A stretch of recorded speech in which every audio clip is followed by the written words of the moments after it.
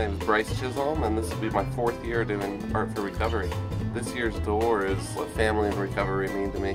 Uh, the title of my door is Complexities of Self, and it's a really examination of yourself, your family, and all your surroundings help your ideas and your beliefs, and it's really important to also look inwards. The woman on my door, I call her complexity. On the outside, someone may look really normal and just going about their day every day.